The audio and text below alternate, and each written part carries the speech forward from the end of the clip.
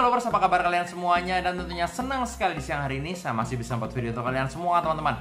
Dan di video kali ini saya akan meramalkan ada tiga zodiak yang akan mendapatkan rezeki berlimpah di bulan Oktober ini. Kira-kira zodiak apakah itu? Dan apakah salah satunya zodiak kalian juga? Nanti kita akan lihat ya. Tapi sebelum saya mulai videonya dan sebelum saya mulai ramalannya, kalian jangan lupa diklik dulu tombol subscribe di bawah sini dan jangan lupa diklik tombol loncengnya agar kalian selalu dapatkan notifikasi ketika saya upload video terbaru. Karena setiap harinya saya akan upload terus dari jam 11 siang, jam 12 siang maupun jam jam 3 sore. Jadi buat kalian yang belum subscribe, langsung subscribe sekarang juga dan jangan lupa diklik tombol loncengnya. Oke, saya tunggu teman-teman. Dan buat kalian juga yang pengen diramal secara pribadi, secara personal ke saya, mungkin kalian mau menanyakan tentang pekerjaan kalian, jodoh, karir, rezeki ataupun kalian lagi PDKT sama seorang yang diramalkan, langsung aja DM ke Instagram saya di @marcelwen.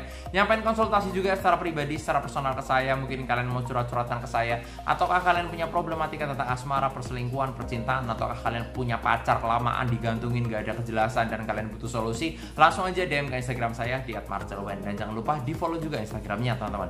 Oke, saya tunggu buat subscribe dan juga diklik tombol loncengnya dan kalau udah langsung aja saya akan mulai. Di video kali ini saya akan meramalkan ada tiga zodiak yang akan mendapatkan rezeki berlimpah di bulan Oktober. Ya, menurut prediksi saya kira-kira gambarannya zodiak apakah itu dan apakah salah satunya ada zodiak kalian juga? Nanti saya akan mengambil tiga kartu seperti biasa dan akan saya artikan satu persatu kira-kira zodiak apakah yang akan mendapatkan rezeki di bulan Oktober ini ya. Saya acak dulu kartunya dan nanti saya akan ambil kartu yang pertama untuk melihat apakah zodiak itu ya. Langsung aja tanpa berlama-lama saya mau ambil kartu yang pertama teman-teman ya. Di kartu yang pertama ini ada kartu ada kartu yang menyimbolkan seseorang yang sedang mengendari kuda di sini ya teman-teman ya. Kalian lihat jelas sekali di sini ada seseorang yang sedang mengendarai dua kuda ya. Jadi kalau saya lihat di kartu yang pertama ini, zodiak ini memiliki sifat yaitu pekerja keras. Orangnya itu selalu pantang menyerah dalam menghadapi situasi dan kondisi apa pun juga. Saya lihat melihat hidup dari sisi pahitnya dan dia tidak menyukai kelemahan baik dalam dirinya sendiri maupun dalam diri orang lain. Orangnya memiliki ambisi yang tinggi walaupun kalau saya lihat kadang-kadang memiliki uh, gengsian ya orangnya itu memiliki sifat yang gengsian. Cuma nggak masalah ini merupakan suatu hal yang wajar. Gengsian itu biasanya terhadap pasangannya sama pacarnya gitu ya uh, sayang akunya nggak sayang. Cinta tapi ngakunya biasa aja. Nah kadang-kadang suka gengsian kayak gitu. Ya tapi kalau saya lihat orangnya ini tulus setia. Kalau misal udah mencintai satu orang dia akan berusaha setia sama orang tersebut sampai selamanya. Kalau saya lihat seperti itu. Jadi di zodiak yang pertama ini terlihat jelas sekali ya. Zodiak ini tipe karakter yang sangat pekerja keras sekali. Orangnya selalu pantang menyerah memiliki ambisi yang tinggi. Orangnya kadang memiliki sifat gengsian ya. Suka belajar hal baru. Orangnya itu mudah akrab sama orang lain. Dan juga orangnya itu setia terhadap pasangannya. Jadi kalau saya lihat di kartu yang pertama ini zodiak yang akan mendapatkan rezeki berlimpah di bulan Oktober ini adalah zodiak Scorpio teman-teman ya. Jadi kalau saya lihat di kartu yang pertama ini Scorpio akan ada rezeki, akan ada kejutan, akan ada sesuatu hal yang baru untuk Scorpio di bulan Oktober ini ya. Kita akan lihat di kartu yang kedua kira-kira zodiak apakah itu yang akan mendapatkan rezeki berlimpah di bulan Oktober. Nanti kita akan lihat teman-teman. Oke, saya cek kartunya dan nanti saya akan ambil kartu yang kedua. Kira-kira zodiak apakah yang akan mendapatkan rezeki berlimpah di bulan Oktober 2020? Langsung aja saya mau ambil kartu yang kedua. Kartu yang kedua ini adalah di sini ada simbol seseorang yang sedang memegang piala, teman-teman ya.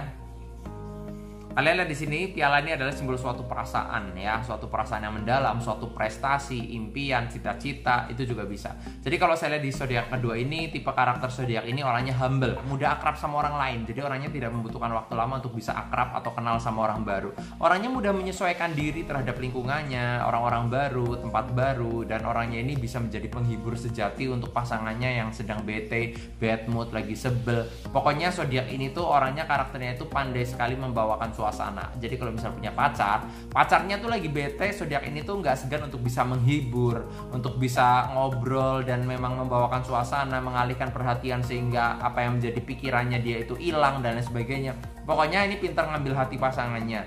Ya orangnya ambisinya juga sangat tinggi sekali karena di sini ada simbol piala ya. Piala adalah simbol suatu prestasi ya. Jadi kalau saya lihat uh, zodiak ini memiliki ambisi yang tinggi. Jadi kalau misalnya sudah memiliki mimpi atau cita-cita, dia itu akan berusaha semaksimal mungkin untuk menggapai mimpinya, untuk menggapai cita-citanya. Dan orangnya itu berjiwa perasa karena piala ini juga disimbolkan sebagai sifat yang perasa juga bisa gitu ya. Orangnya mudah tersinggung, mudah marah dan juga orangnya mudah kasihan sama orang juga, memiliki simpati yang besar terhadap orang lain juga. Jadi orangnya itu berjiwa perasa. Intinya seperti itu. Jadi kalau saya lihat di kartu yang kedua ini zodiak akan mendapatkan rezeki berlimpah di bulan Oktober. Ini ada zodiak Gemini teman-teman ya. Jadi kalau saya lihat Gemini di bulan Oktober ini juga saya lihat rezekinya baik ya. Jadi yang kemarin e, nanyain ke saya pengen nyari kerjaan gitu ya dan lain sebagainya. Kalian di bulan e, Oktober ini pokoknya ada rezeki baru. Akan ada kejutan spesial buat kalian juga. Banyak sesuatu yang positif, banyak hal-hal yang gak terduga yang akan datang datang. Bisa juga rezeki itu datang dari teman, dari sahabat, dari keluarga, dari uh, teman jauh gitu ya. Siapa pun bisa gitu ya. Dari rekan kerja, dari atasan kamu juga bisa.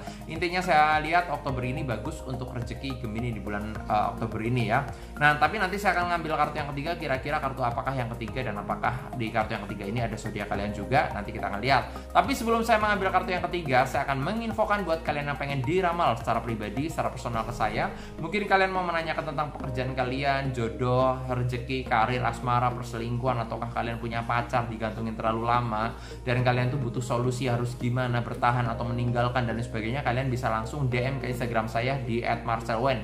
Ya jadi kalian bisa curhat-curhat ke saya juga. Oke nanti saya akan ambil kartu yang ketiga kira-kira kartu apakah yang ketiga dan zodiak apakah itu? Apakah salah satunya ada zodiak kalian juga? Nanti kita akan lihat teman-teman Oke, saya acak kartunya dan nanti saya akan ambil kartu yang ketiga untuk melihat zodiak apakah itu. Dan langsung aja saya mau ambil kartu yang ketiga untuk melihat zodiak apakah ini. Di kartu yang ketiga, di sini ada simbol seseorang wanita yang sedang sendirian, dia menatap sebuah kapal di tengah laut ya. Jadi kalau saya lihat di kartu yang ketiga ini ya teman-teman ya ini zodiak ini tuh memiliki sifat dan karakter orangnya ini dia tuh uh, kadang suka merasa kesepian gitu ya. Dia tuh tipe karakter zodiak yang nggak bisa sendiri nggak bisa sendiri. Pokoknya selalu ada teman entah uh, keluarganya entah teman-temannya sahabatnya. Pokoknya uh, di rumah pun itu selalu ada teman ngobrol. Intinya kalau sendiri dia tuh jenuh banget. Dia tuh punya relasi yang banyak kalau saya lihat seperti itu ya. Punya relasi yang banyak punya jiwa bisnis yang tinggi orangnya juga mudah akrab sama orang lain. Saya lihat seperti itu karakternya ya. Jadi jadi tidak membutuhkan waktu yang lama untuk bisa kenal sama zodiak ini juga. Kalau saya lihat seperti itu. Orangnya juga pekerja keras banget uh, dia tuh membanting tulang untuk bekerja bahkan dari pagi ketemu pagi lagi akan dibela-belain untuk karirnya ke depan untuk uh, cita-citanya untuk rezekinya dan sebagainya.